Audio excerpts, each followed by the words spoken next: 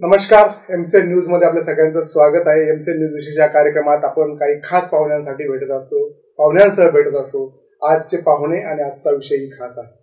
लोकसभा निवडणुकांचा बिगुल वाजलाय सगळीकडे लोकसभेची रणधुमाळी सगळीकडे पाहायला मिळते आणि प्रशासनही जोरात तयारीला लागले तर छत्रपती संभाजीनगर जिल्ह्यात प्रशासन काय तयारी करत आहे हे सांगण्यासाठी दस्त खुद्द जिल्ह्याचे जिल्हाधिकारी दिलीप स्वामी सर आज स्टुडिओत आहेत. सर आपलं खूप खूप स्वागत आहे. नमस्कार धन्यवाद.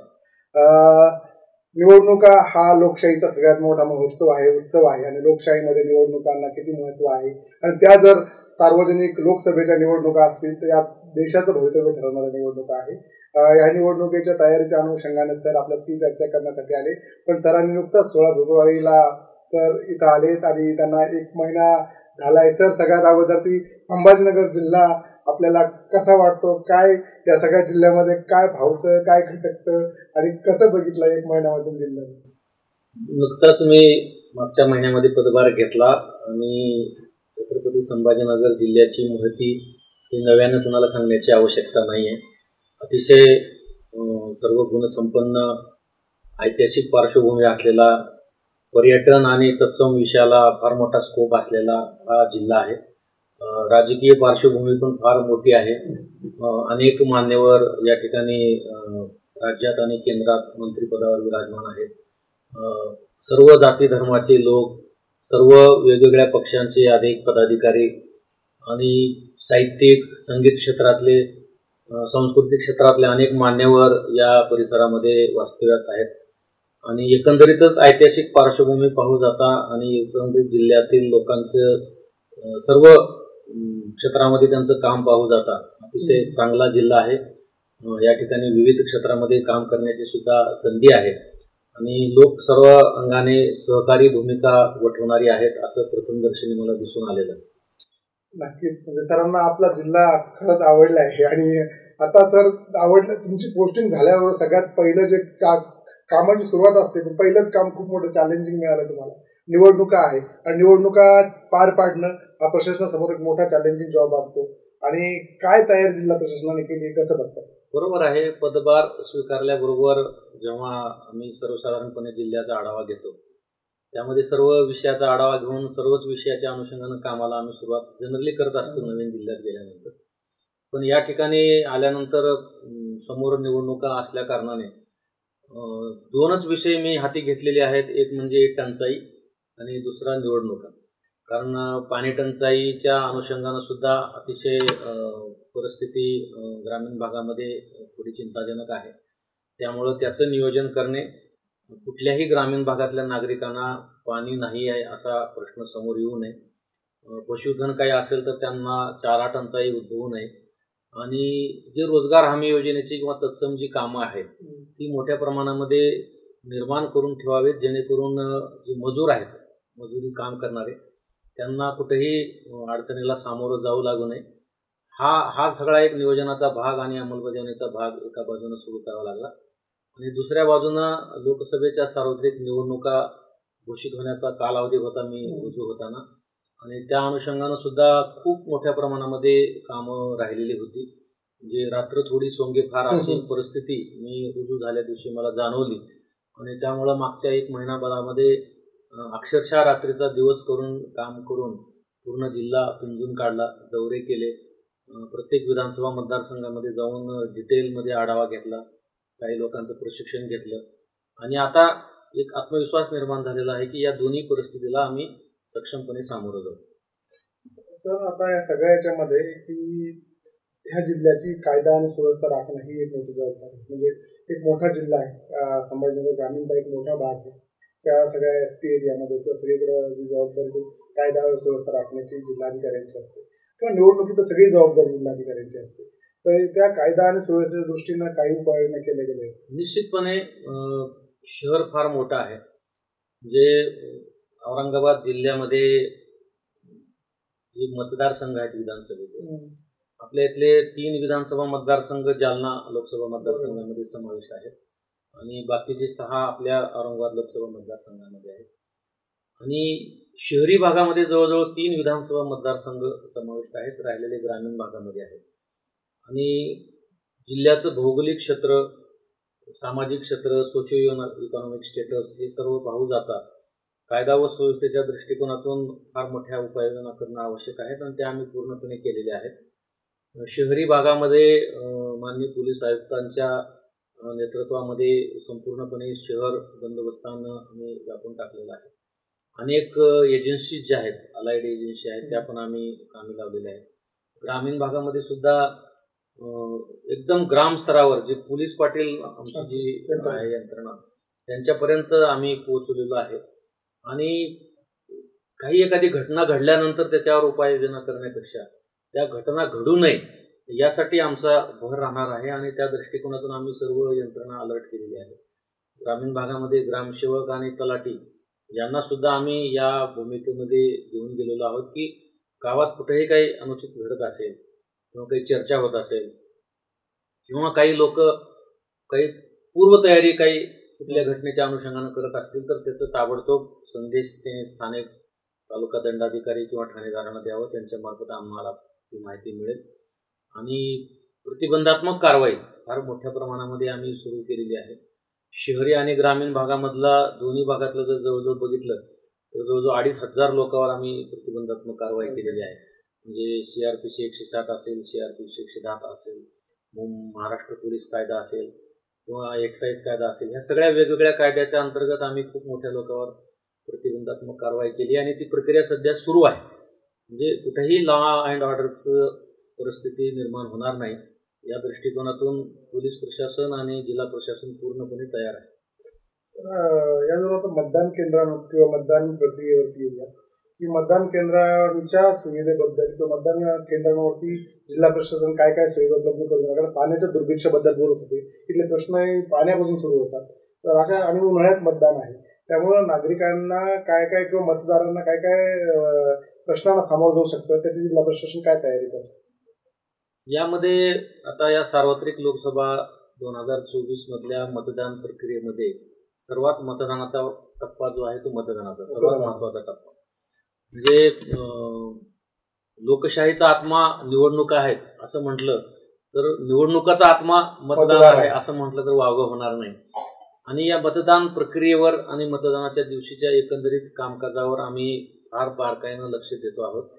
सन्माननीय भारत निवडणूक आयोगाने सुद्धा अनेक सूचना अतिशय सूक्ष्म मार्गदर्शन आयोगाने केलेलं आहे निर्देश दिलेले आहेत आदेश काढलेले आहेत. त्याचा सूक्ष्मपणे अभ्यास करून स्थानिक परिस्थिती लक्षात घेऊन काही जास्तीच्या सुविधा आम्हाला मतदान केंद्रावर द्यावा लागणार आहे औरंगाबाद जिल्ह्यामध्ये जवळजवळ तीन हजारापेक्षा जास्त मतदान केंद्र आहेत. त्यातले काही जालना लोकसभा मतदारसंघामध्ये आहेत आपल्याकडे काही. आणि या सर्व मतदान केंद्रावर जवळजवळ जिल्हाभरामध्ये तीस लाखपेक्षा जास्त मतदार मतदान करणार आहेत. जालना लोकसभामध्ये नऊ लाख नव्वद हजाराच्या आसपास मतदार आहेत. आणि वीस लाखापेक्षा जास्त आपल्याकडे औरंगाबाद लोकसभा मतदारसंघामध्ये आहेत. इतक्या मोठ्या प्रमाणात मतदार जेव्हा मतदान करायला जाणार आहेत त्यामुळं मतदान केंद्रावरची सुविधा हा अत्यंत महत्त्वाचा विषय आमच्यासमोर होता आणि त्या दृष्टिकोनातून आम्ही संपूर्ण नियोजन केलेलं आहे त्याची अंमलबजावणी सुरू आहे. मग यामध्ये आता आपल्याकडे तेरा मेला मतदान आहे म्हणजे एकदम मध्य उन्हाळा. तीव्र उन्हाळा त्यावेळेस असणार आहे तापमानामध्ये प्रचंड वाढ झालेली असणार आहे. त्यामुळं येणाऱ्या मतदारांना उन्हात थांबायची गरज पडू नये. या दृष्टिकोनातून ज्या ठिकाणी शाळेची इमारत रांगेसाठी पुरेशी आहे तिथं काही प्रश्न नाही. पण ज्या ठिकाणी शाळा लहान आहे किंवा मोठ्या प्रमाणात सावली नाही आहे त्या ठिकाणी आम्ही शेड उभा करणार आहे त्याचं अंदाज किती शेड लागणार आहे काय त्याचं काम सध्या सुरू आहे मी त्यांना सावलीची व्यवस्था करणार आहे. प्रत्येक मतदान केंद्रावर पाण्याची व्यवस्था. मोठ्या प्रमाणामध्ये मतदान केंद्र शाळेमध्ये आहेत. तिथं ऑलरेडी विद्यार्थ्यांच्या पिण्याच्या पाण्याची व्यवस्था आहे. पण ज्या ठिकाणी पिण्याच्या पाण्याची पूर्व व्यवस्था नाही आहे त्या ठिकाणी जार उपलब्ध करून देणे ज्या ठिकाणी पूर्वीची पाण्याची सुविधा उपलब्ध आहे तिथं साफसफाई करून क्लीन चांगलं स्वच्छ पाणी मतदारांना आणि आमच्या मतदान चमुना मिळेल याची दक्षता आम्ही घेतो आहोत. त्याचबरोबर उन्हाळा असल्यामुळं भोळ येणे चक्कर येणे ऊन लागणे झळ लागणे अशा पद्धतीचे जे तत्सम आजार होत असतात त्याच्यासाठी सुद्धा आम्ही प्रत्येक मतदान केंद्रावर मेडिकल किट द्यायचं नियोजन केलेलं आहे. आमचं civil surgeon D H O M O H यांच्यासोबत बसून त्याचं नियोजन केलेलं आहे. त्याचबरोबर मोठ्या प्रमाणामध्ये महिला मतदार आहेत. मला आपणाला सांगितलं पाहिजे की तीस लाख मतदार आपल्याकडे नोंदणी झालेली आहे. त्यातले पंधरा लाखाच्या आसपास महिला मतदार आहेत. हो, अर्धेच मत हा पन्नास टक्के महिला मतदार आहेत आणि त्यांचा सुद्धा मतदानाचा टक्केवारी वाढला पाहिजे. या दृष्टिकोनातून आम्ही प्रयत्न करतोय. ह्या महिला मतदार भगिनी जेव्हा मतदान केंद्रावर येतील तेव्हा त्यांची गैरसोय होणार नाही या दृष्टिकोनातून. आम्ही आता काही महिला मतदार आपल्या लहान बाळाला कडेवर घेऊन येतात. आणि मग ते कडेवर बाळाला घेऊन थांबणं मतदान केंद्रात जाऊन मतदान करणं हे फार जिकरीचं असतं. त्यामुळं त्या महिलांकडे असलेल्या बाळांना सांभाळण्यासाठी आम्ही पाळणा घरांची सुद्धा आस्थापना तयार करतो आहोत निर्माण करतो आहोत.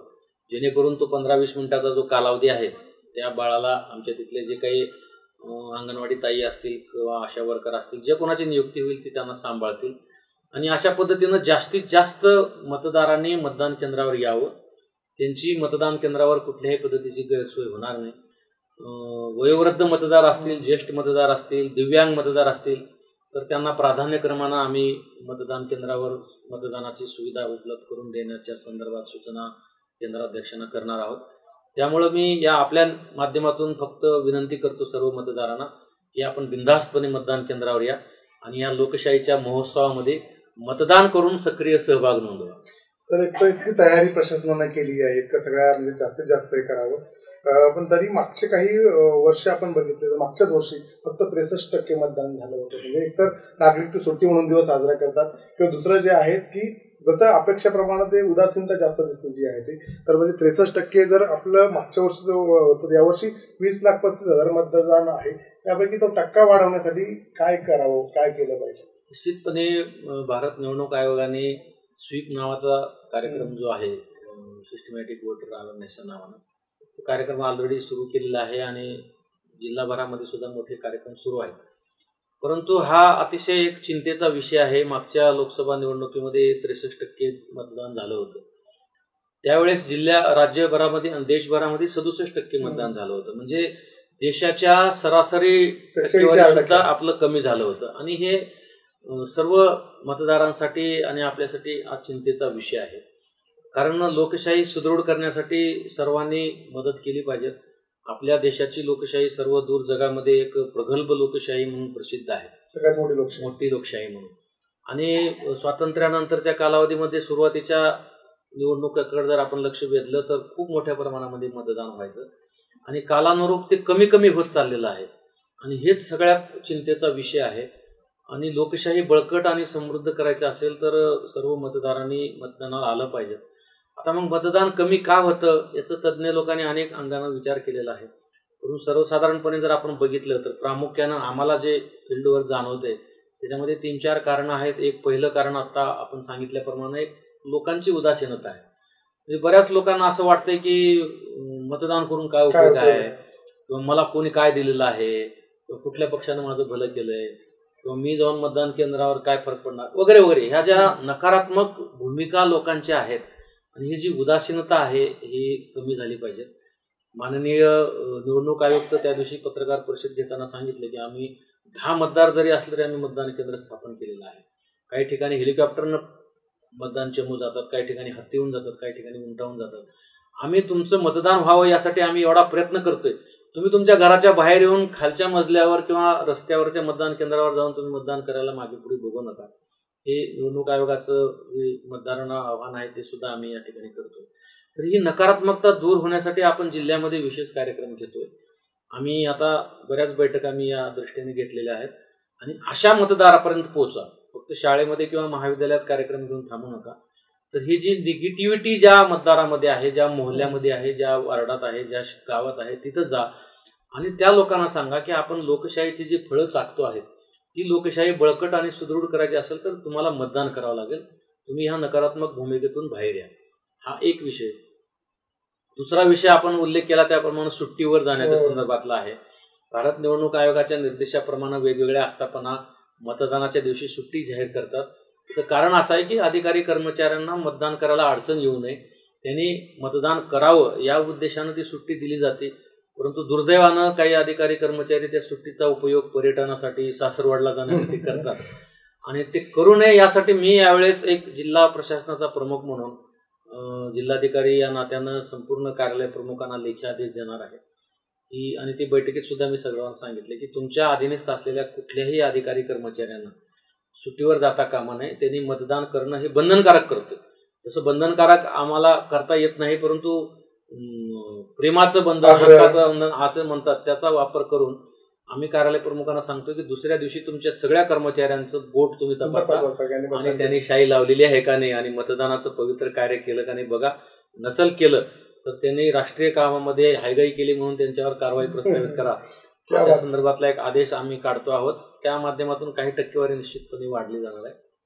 या निवडणुकीदरम्यान सगळीकडेच म्हणजे जितकी मोठी लोकशाही आहे त्यात काही उणीवा पण आहे. उणीवा म्हणजे लोकांकडनं. काही त्याच्यामध्ये अपप्रचार किंवा मग बाकीच्या काही अपप्रवृत्ती असतात मग खूप ठिकाणी प्रचारादरम्यान पैसे वाटणं किंवा दारू वाटणं किंवा अशा ज्या गोष्टी काही भेटवस्तू वाटणं अशा जर काही गोष्टी निदर्शनास आल्या तर त्यांच्यावरती आळा घालण्यासाठी किंवा काही सजग नागरिकांना जर ते प्रक्रिया तर ते घडत असेल ते रिपोर्ट करायचं असेल ते थांबवावं असं वाटत असेल तर त्यांनी कसं यंत्रणेने सांगायचं? नाही यासाठी आम्ही खूप मोठ्या प्रमाणामध्ये एकतर भारत निवडणूक आयोगाने अनेक संगणकीय प्रणाली तयार केलेल्या आहेत.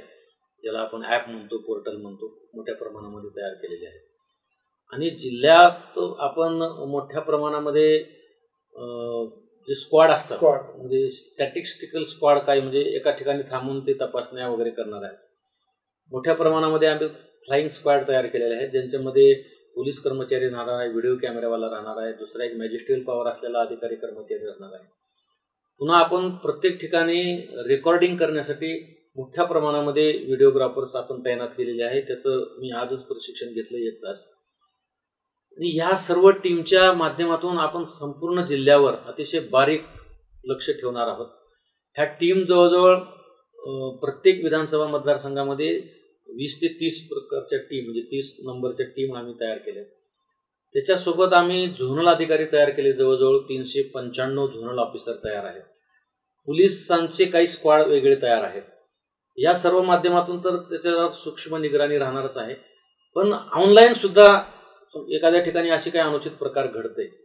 आणि कुणी तुम्ही म्हणल्यासारखं कुणी पैसे वाटप करणे दारू वाटप करणे किंवा साहित्य वाटप करणे किंवा प्रलोभनं दाखवणे खरं म्हणजे हे कायद्यानुसार फार मोठा गुन्हा आहे.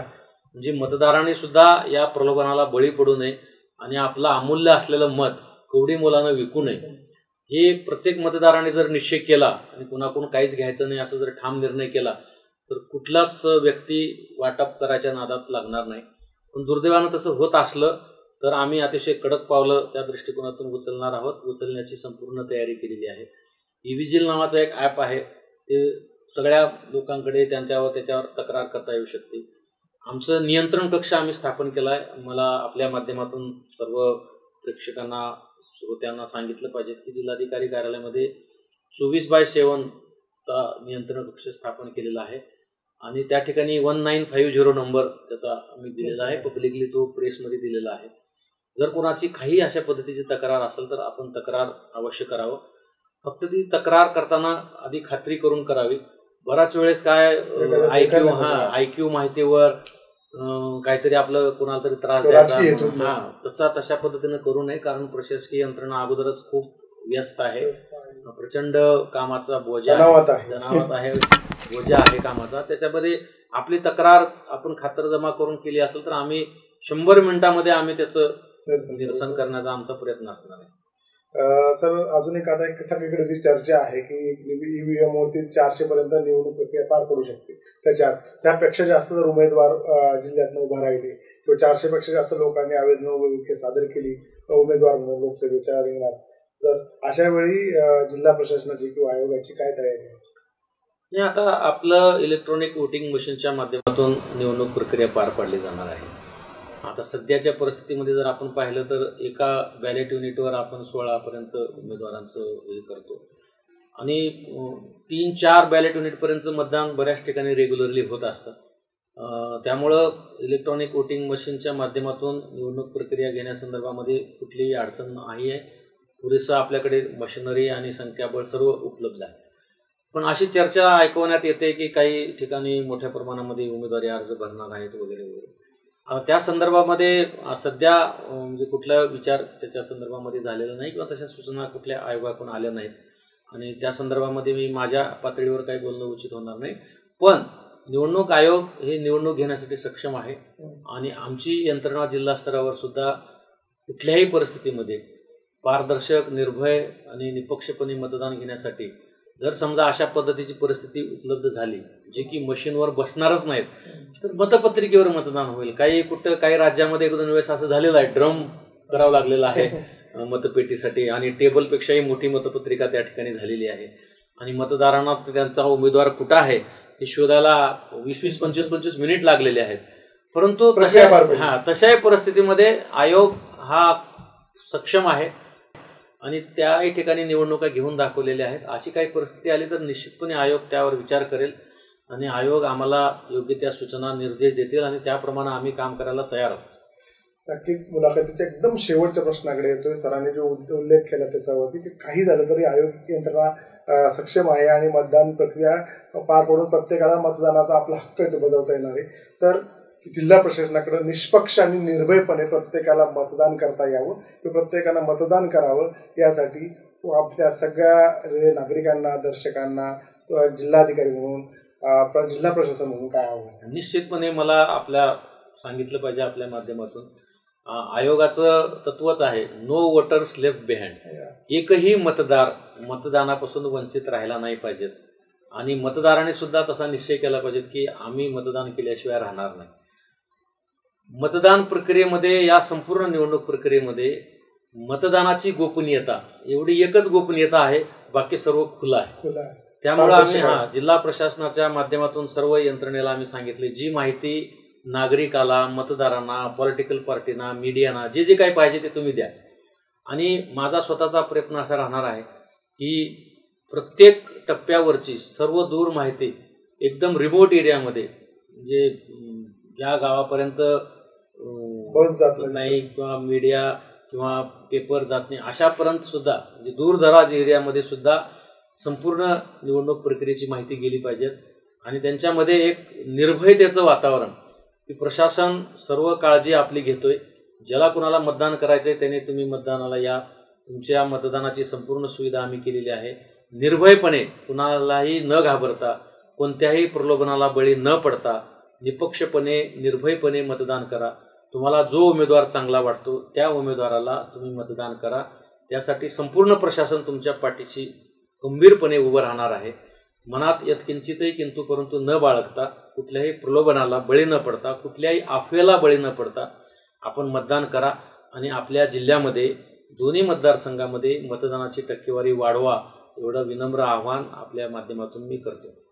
क्या बात आहे. सर धन्यवाद. म्हणजे एकही निवडणुकीबद्दलचा प्रश्न किंवा प्रक्रियेबद्दलचा एकही प्रश्न सगळ्या दर्शकांच्या मनात राहिला नसेल इतक्या सुसूचितपणे सरांनी सगळ्या पद्धती त्यांच्या ज्या काय काय तयारी जिल्हा प्रशासनाने केली आहे मतदानासाठी काय सुविधा केल्या जातील आणि कशी पूर्ण एकंदरीत तयारी आहे त्याचा पूर्ण आढावा आपल्यासमोर मांडला. सरांचं वाक्यही भारी होतं की गोपनीयता फक्त गोपनीय मतदान आहे बाकी सगळं पारदर्शक आहे. सर आपण आलात आमच्याशी संवाद साधला. खूप आभार. धन्यवाद. धन्यवाद. आपले पण मनापासून